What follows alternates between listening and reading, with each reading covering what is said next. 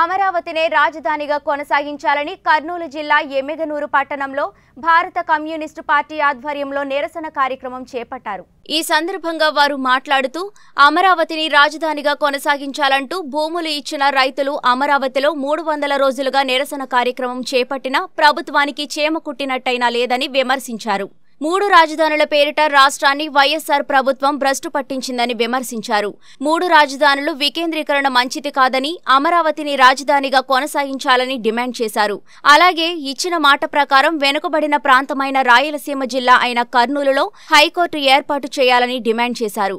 ఈ కార్యక్రమంలో నియోజకవర్గ కార్యదర్శి పంపన్న గౌడ్ సహాయ కార్యదర్శి సోమేష్ రెడ్డి మండల కార్యదర్శి ఎం సత్యన్న సిపిఐ కార్యకర్తలు పాల్గొన్నారు. మరి అదే జగన్ ఎన్నికలు ఇచ్చినటువంటి వాగ్దానాలను అమలు పరచకుండా పేద ప్రజలను మధ్య తరగతి రైతులను కూడా తుంగలో దక్కున్నాడు ఈ రోజు మరి నిమ్మకు నీరెత్తినట్టు మరి విశాఖపట్నానికి మరి తరలిస్తారని ఎలా ఈ దుర్మార్గమైన పని మరి మంచిది కాదు. మరి అలాగనే అమరావతిని రాజధానిగా కొనసాగించారా హైకోర్టును కర్నూలులో ఏర్పాటు చేయాలని మన రాజ్యసభ పిలిపించింది. అందులో భాగంగానే ఈ యొక్క కార్యక్రమాన్ని వ్యాప్తంగా భారత కమ్యూనిస్ట్ పార్టీ ఆధ్వర్యంలో రాష్ట్ర సమితి పిలుపు మేరకు మరి దాదాపు మూడు వందల రోజులుగా కేంద్రీయ రాజధాని మరి ఆంధ్రప్రదేశ్ రాష్ట్రం పునర్నిర్మించిన తర్వాత మరి ఆ రోజు మాట ప్రకారం ఇచ్చిన మాట ప్రకారం అమరావతి రాజధాని అలాగే కొనసాగించాలని మరి భారత కమ్యూనిస్ట్ పార్టీ కట్టుబడి ఉంది.